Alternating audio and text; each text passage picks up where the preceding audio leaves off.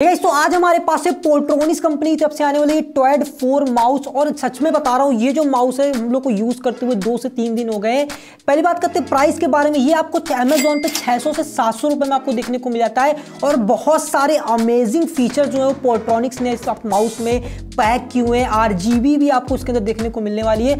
तो सारा कुछ वीडियो के अंदर बता तो अगर आपको वीडियो सारे वीडियो को लाइक करिए चैनल को सब्सक्राइब कर लीजिए, क्योंकि हम लोग इस वीडियो पर करते रहते हैं। चलिए फिर वीडियो को स्टार्ट करते हैं। बॉक्स के बारे में बात करें तो बॉक्स आपको कुछ यहाँ पे छोटा सा देखने को यहाँ पे मिल जाता है। फ्रंट में पोल्ट्रॉनिक्स की ब्रांडिंग है टॉयट फोर है और साइड की अगर बात करें तो तीन डिवाइस पे कनेक्ट कर सकते हो। साइलेंट बटन होने वाले डायनेमिक आरजीबी लाइट देखने को मिलती है।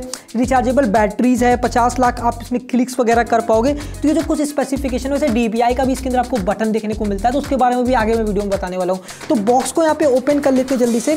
तो यहाँ से बॉक्स को ओपन करते हैं तो हमारा एक्चुअल में जो माउस है, वो हमको देखने को यहाँ पे मिल जाता है। इसको बाद में देखते हैं। और अगर चेकआउट करें तो हमको कुछ पेपर वर्क यहाँ पे देखने को मिलता है तो इसको आप इसको पढ़ के अपना देख सकते हो कैसे इसको यूज़ वगैरह करना है। बाकी मैं वीडियो में आपको सब कुछ बताने वाला हूँ।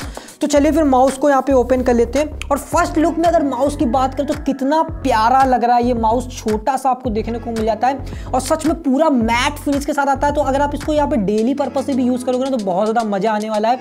और अगर बात करें यहाँ पे ये स्क्रॉलिंग व्हील के बारे में तो ये आपको रबर फिनिश के साथ देखने को मिलती है। तो जब भी आप इसको अपने डेस्कटॉप पर रख के स्क्रॉलिंग वगैरह करोगे, बहुत ज़्यादा आपको कंफर्टेबल यहाँ पे फील देखने को मिलता है। यहाँ पे आपको एक डीबीआई बटन देखने को मिल जाता है, जिससे आप 1600 से 1600 तक की आपकी डीबीआई यहाँ पे सेलेक्ट कर सकते हो। और जिनको भी डीबीआई पता नहीं है, मैं एक सीधी सा मैं आपको बता देता हूँ। डीबीआई का मतलब ये होता है कि जो आपका कर्सर होता है, उसकी आप स्पीड को यहाँ पे कैलकुलेट मतलब यहाँ पे यहाँ पे कस्टमाइज कर सकते हो कितनी कम इसकी स्पीड चाहिए, कितनी ज़्यादा स्पीड चाहिए। सोलह पे बहुत ज़्यादा हो जाती है, और और जितने भी कम करोगे तो कम हो जाएगी। तो अकॉर्डिंग टू आपके यूज़र्स के अकॉर्डिंग आप इसको कंट्रोल भी कर सकते हो।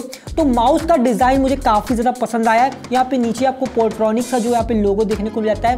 बैक साइड की अगर बात करते हो आपको पावर ऑफ़ ऑन बटन देखने को मिलता है और बीच में आपको आरजीबी वाला भी देखने को मिलता है। तो अगर आपको आरजीबी ऑन करनी है तो आप बीच में कर दो, या तो बिना आरजीबी के अगर आपको यूज़ करना है तो आप सीधे ऑन बटन पर क्लिक करोगे तो वहाँ पे आप उसको यूज़ भी कर पाओगे, जिससे बैटरी पर भी काफ़ी ज़्यादा इशू यहाँ पे पड़ जाता है कि अगर आप आर भी यूज़ करते हो तो डेफिनेटली थोड़ी सी बैटरी आपकी ज़्यादा जाएगी। बट अगर आप ऑन मोड पर मतलब बिना आर के अगर यूज़ करोगे तो थोड़ी सी बैटरी आपकी ज़्यादा चलती है। वैसे इसके अंदर ये चीज़ बहुत मुझे काफ़ी ज़्यादा अच्छी लगी है कि अगर आपको डोंगल से यूज़ करना है तो आप डोंगल से यूज़ कर सकते हो। बाकी इसके अंदर ब्लूटूथ भी देखने को मिलता है, उसके थ्रू भी आप यहाँ पे यूज़ कर सकते हो। और इसमें दो ब्लूटूथ वर्जन आपको देखने को मिलते हैं। एक जो है वो टॉयड फोर प्लस कर का एक ब्लूटूथ देखने को मिलता है और एक नॉर्मली ब्लूटूथ फाइव देखने को मिलता है। तो अगर आप ब्लूटूथ फाइव से कनेक्ट करोगे तो स्टेबिलिटी थोड़ी सी सही मिलती है। और टॉयड फोर प्लस के अगर जो ब्लूटूथ पे आप कनेक्ट करते हो तो और ज़्यादा लेटेंसी कम हो जाती है, जिसकी वजह से वैसे इतना कुछ पता नहीं चलने वाला। अगर आप नॉर्मल यूज़ करते हो गेमिंग में थोड़ा सा यहाँ पे आपको समझ में आएगा। तो अगर आपको गेम वगैरह करते हो तो आपको हाइयर वेरियंट पे ही कनेक्ट करना चाहिए।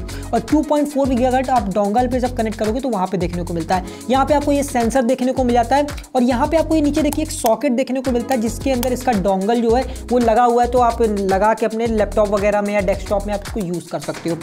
अब बात करते हैं इसके डिज़ाइन वगैरह। तो मैंने बताया डिज़ाइन काफ़ी ज़्यादा अच्छी है। आर आपको इसके अंदर देखने को मिलती है, जो कि बहुत ज़्यादा प्यारी लगती है। अगर आप अपने डेस्कटॉप अगर आप काफ़ी ज़्यादा आर लवर हो, आपको लाइट्स वगैरह बहुत ज़्यादा पसंद है अपने डेस्कटॉप के ऊपर तो ये माउस जो है 700 से 600 रुपए में मिलता है और काफ़ी ज़्यादा वर्थ ऑफ़ मनी मुझे लगा है। एक चीज़ जो यहाँ पे आपको टाइप सी पोर्ट देखने को मिलता है तो इसके अंदर आप कोई भी सेल नहीं लगाना पड़ेगा। आपको नॉर्मली आप टाइप सी पोर्ट से इसको चार्ज कर सकते हो यूज़ कर सकते हो। बैटरी लाइफ की अगर बात करें तो यहाँ पे जो पोल्ट्रॉनिक्स है, वहाँ पे वेबसाइट पे या इनके जो मैनुअल है, उसके अंदर दिया हुआ है कि पाँच से छः दिन का आपको यहाँ पे बैटरी लाइफ देखने को मिलता है। अगर आप आरजीबी ऑन करते हो और अगर आप आरजीबी बंद करके यूज़ करते हो तो कम से कम दस से बारह दिन का आपको बैटरी लाइफ देखने को मिलेगा।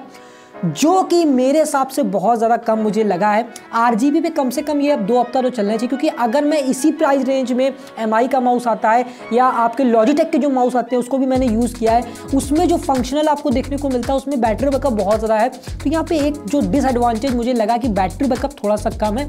बट अगर आप बहुत ज़्यादा माउस यूज़ नहीं करते हो डेली पर्पज़ पे आप थोड़ी टास्किंग वगैरह स्क्रॉलिंग वगैरह करते हो या वेब ब्राउजिंग वगैरह करते हो तो ये चीज़ मेरे हिसाब से काफ़ी सही है कि आपको जिस प्राइस में मिल रहा है आरजीबी भी देखने को मिलती है तो वो चीज़ मुझे काफ़ी ज़्यादा अच्छी लगती है कि अगर इस प्राइस में आपको कोई ऐसा माउस लेना जिसमें आरजीबी वगैरह हो, एक काफ़ी ज़्यादा क्यूट माउस अगर आप चाहिए तो आप इस माउस की तरफ़ जा सकते हो। वैसे लिंक आपको डिस्क्रिप्शन में देखने को मिल जाएगा तो आप वहाँ जाकर चेकआउट ज़रूर कर सकते हो। और कैसा लगा माउस और क्या सोचते हो इस माउस के बारे में कमेंट बॉक्स में कमेंट ज़रूर बताएगा। और अगर वीडियो में ज़्यादा वीडियो को लाइक करेगा, चलिए फिर आज के वीडियो में तय थैंक्स फॉर वॉचिंग